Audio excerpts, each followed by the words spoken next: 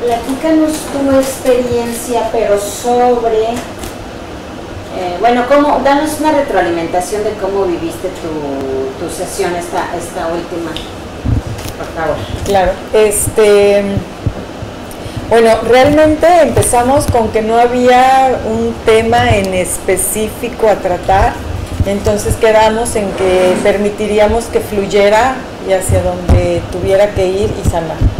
Entonces, bueno, Eri me, indujo la hipnosis eh, y eh, llegué al momento, a una vida pasada, en donde era un pescador muy pobre, estaba en un lago y me veo a mi esposa, veo a mi una de, a la única hija que creo que tenía y era una vida pues de muy muy conforme, como que no era feliz, me decía, ¿eres feliz? Pues sí, no.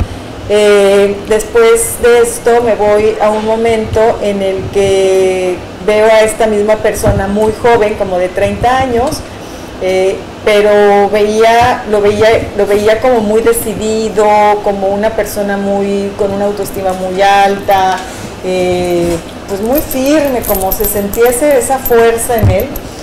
Y Eri me empieza a decir que tome toda esa fuerza, la integre y en eso veo la figura de mi papá. O sea, veo a mi papá de 30 años, o sea, ese señor que yo pensé que era yo, veo claro a mi papá parado con toda esa fortaleza que yo veía cuando, él era, cuando yo era niña. Entonces, eh, pues estuvo muy bonito porque entonces Eri eh, proyecta esa fuerza que tenía mi papá hacia mí, despertando mi lado masculino. Y fue, fue, fue impresionante para mí porque cuando Eri me dice, integra tu lado masculino, literalmente mi, mi lado femenino volteaba para abajo y, lo agarraba como diciendo, levántate, levántate, ¿por qué estabas tan dormido? Entonces lo integro a mí, como a mí, o sea, como que veo la fuerza resurgir y, y, y Eri me decía, proyecta esa fuerza que el Padre da hacia tu lado masculino, tómala. O sea, entonces fue muy bonito porque sí, yo de chica veía a mi papá sí, o sea, lo veía guapo, grandote, fuerte, me sentía totalmente protegida por él. Este, y entonces cuando le integro, oh, viene una tranquilidad y un descanso porque sentía, yo creo, que mi parte femenina era la que hacía todo, pero pues con, con ese todo pues había mucha indecisión de mi parte, había muchas cosas que como el lado masculino es el que toma esa decisión. Entonces lo integro y siento como, como que se funde mi lado masculino como con el femenino y Eri me dice, recíbelo como un amigo. Entonces, por supuesto, eh, el, recibimiento fue de, claro que bienvenido, te estaba esperando, porque me yo sí siento que me ha hecho falta. Y entonces, eh, quedo como muy empoderada, me lo veo de un color rojo, me empodero como a la Montserrat eh, eh, y viene una gran tranquilidad. Y después sigo caminando y veo a este mismo señor que tenía muy bonita relación con su hija, que veía a mi hija Alexa, la de ahorita, le veía en sus ojos que su misma esencia era la de esa niña, muy diferente físicamente este, y muero, caigo, muero de viejo, eh, caigo en una piedra y me muero, ahí me muero. Pero me subo, me voy a la luz muy rápido. Eh, inmediatamente me voy y mi aprendiz, y lo que fui a aprender era en esa vida era a luchar por no conformarme con lo que simplemente llegaba, sino era como buscar esa parte que me hiciera feliz y no lo cumplí. O sea, como que yo veía a este señor muy resignado con su esposa, con la vida que estaba teniendo, y el, el mensaje que me daba era ese mismo. No te conformes, busca lo que tú quieres, lo que, lo que te va a hacer feliz. Y ya me dice, y no precisamente eh, en la pareja, sino en todo lo que hay a mi alrededor, ¿no? O sea, busca y ve a que pases por esta vida más que conforme, sino muy feliz.